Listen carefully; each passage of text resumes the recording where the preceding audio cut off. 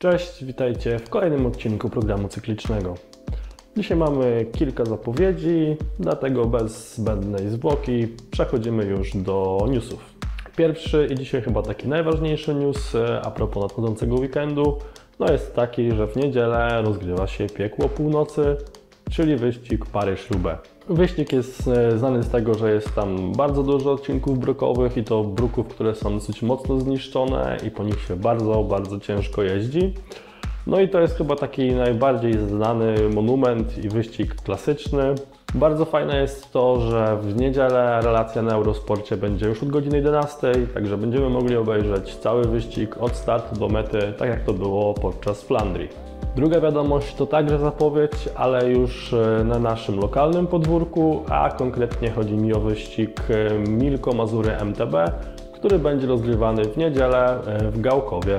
I oprócz takiego dorosłego wyścigu dla zawodników z licencjami czy bez licencji, na pewno tam wystartuje Patryk Piasecki czy Paweł Kowalkowski, bo to są stali bywalcy tego cyklu ale jest tam też e, wyścig dla dzieci to są aż dwa wyścigi dla dzieci, bo jeden to jest Streeter Cup, e, który no, wiąże się głównie z rowerkami biegowymi, ale to jest też wyścig e, dla trochę starszych dzieci.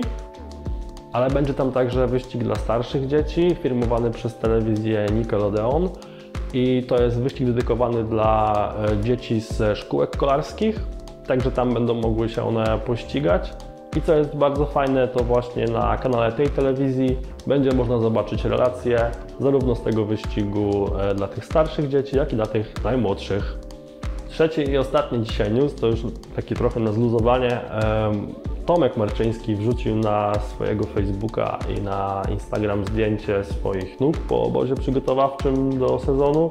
No i kable się pojawiły, wyszło wszystko na zewnątrz. No a wiadomo, że jak się pojawiają takie zdjęcia nóg, kabli i w ogóle, no to już na to zabierają się wszystkie praktycznie media. Pewnie dzisiaj to już podłabią inne portale, wczoraj podłapały to sportowe fakty, dając swój no, żenujący opis tego postu. Moim zdaniem to mogli się trochę lepiej postarać, no ale robią co lubią, no to ich biznes. Was wszystkich pewnie takie nogi nie dziwią. E, ludzi spoza kolarstwa na pewno będzie to szokować, że jak tak można się w ogóle do takiego stanu doprowadzić. No najwidoczniej można i jeszcze można przy tym być całkiem dobrze wysportowanym. To by były już wszystkie newsy, jeśli chodzi o ten tydzień. Widzimy się oczywiście w poniedziałek. Na dzisiaj dzięki za uwagę. Do zobaczenia. Cześć!